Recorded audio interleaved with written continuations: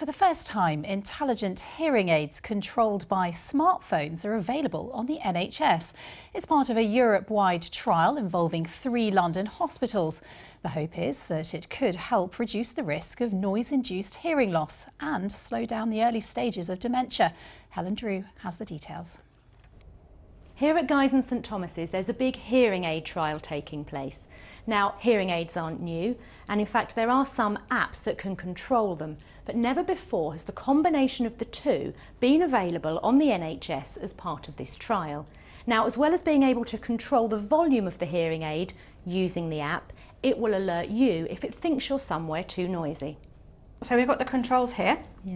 And what we've got here is the left and right so we can adjust the volume on the hearing aids.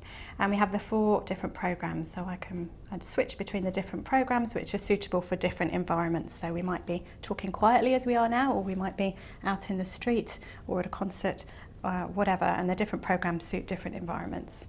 It's particularly valuable in a noisy city like London the hearing aids will detect noise in the environment. And we, we all live in London, we know it's a noisy city, and when they're exposed to a hazardous level of noise that might damage their hearing, the app alerts them with a little ping, um, and it prompts them to take a hearing test, which they can do through the hearing aid. And then they can see whether their hearing's changed and they can take measures to get themselves out of that, that noisy place.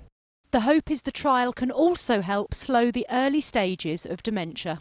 What we think is that the reason for this is that people are not getting enough stimulation in their environment because they can't hear very well. So they're not having conversations, they're not getting the interaction with the community that keeps your brain active and, uh, and engaged and keeps dementia at bay.